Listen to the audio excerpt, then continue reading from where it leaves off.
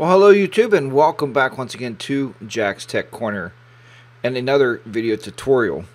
Today's tutorial, I'm sure the title always gives it away, is going to be setting up a Python virtual environment with Windows 11. Now, I've received a lot of emails. People said this is a very hard task, but I'm going to make it as easy as possible so I can show you the steps and we will walk through these together. Okay, the first thing we're going to do is we're going to open up your command window. Okay, so I have a command window open, and you see it opens to Windows System 32. So we're going to do a change directory and two dots. It goes to Windows, change directory, space, two dots again. We'll go down to C drive. Now we're simply going to do a dir, okay? Now in here you can see that I already have the folder created for programming. I would suggest that you do the same thing and keep all your programs or all your code. Maybe you can create a, a maybe we'll do that. Let's go ahead and just make a directory here for code for all of our uh, all, all of our Python code. So mkdir and we'll call it code code. Enter. Alright, now I'm going to clear the screen, CLS. We're going to do a dir and we'll see now that we have a folder in here called code right here at the very top. You can see my mouse here. Right here at the very top is code. So let's change directory again, cd, and we'll go into code. Alright. Now if we do a dir, we can see that it is very much empty. Do a CLS to clear the screen one more time. And now we're going to simply go ahead and create a directory. So make dir and we're going to call this um, whatever you want to call your project. Project 1. Okay. Now if we do a dir, we're going to in fact see project 1. Let's go ahead and go into that directory, cd project 1. And yes, you can create these through the GUI interface and you can go into your uh, Windows Explorer you can go ahead and just right click and, and create all these. But let's face the facts. You guys want to be programmers, you should do it through the command line so we can get used to doing all this together. Simply clicked OK. Now we're in project 1. Now what we want to do here is set up a virtual environment for our project. Now virtual environment, as you know, or maybe you don't know, stores all of our needed components for this particular project. Components such as anything you use pip for. So if you do a pip install, all of those dependencies will be in the virtual environment. This way, you don't have to worry about your project when you package it up that anything is missing. Let's put in there python dash m space venv space and again whatever you want to call your virtual environment venv hit enter and what this is doing right now is creating that virtual environment for us inside of our project one folder or whatever you want to call your code, whatever you're working on. So now that we did that, we can go in here and do a dir.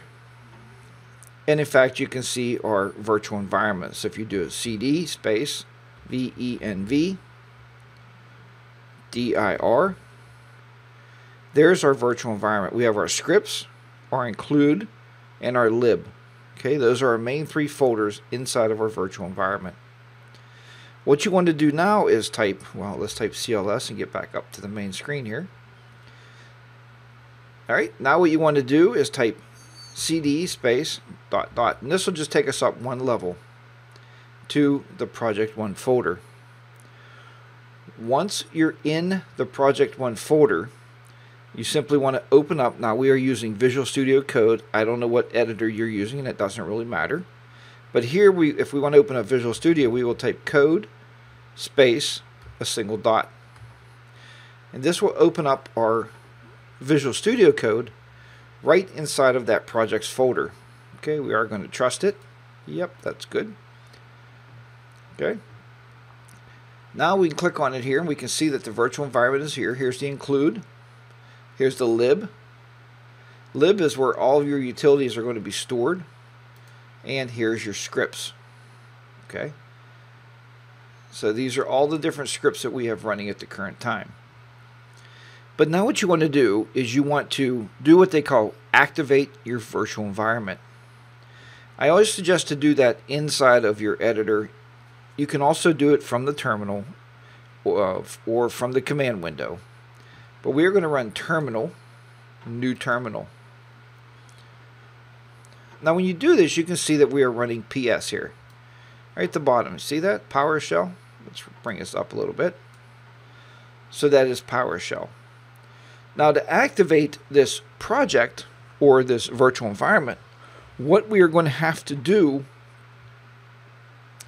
is we are going to have to run a script. And this is where a lot of people are getting confused. Here's the PowerShell script. Activate bat is a script that you're running in the command window. Activate PS1 is what you're running inside of PowerShell. Since we are in PowerShell here, we're going to be running that particular script. Activate.ps1. So we're in the script. Okay, so change directory first and go into virtual environment folder. All right. Now you can change directory and go into scripts. Just like so. Now to activate this virtual environment, all we have to do is put a period and a forward slash activate okay dot ps1 and once you do that sure enough if you look at your your command prompt here you can see that we are now in the virtual environment. That's how we can tell that we're in there. So if you're going to install something here let me try to think of something off top of my head here. Pip install. Let's try pi simple GUI enter.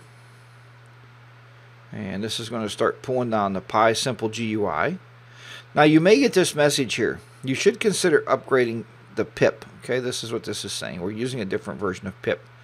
To do that it's very easy. See these quotes here? There's a single quote here and there's a single quote on the left. Start from the right and just highlight that. We're going to copy this out. Okay, we can paste it right here, right at the command prompt, and simply click, uh, hit your enter key, and that's going to install the new version of pip for you.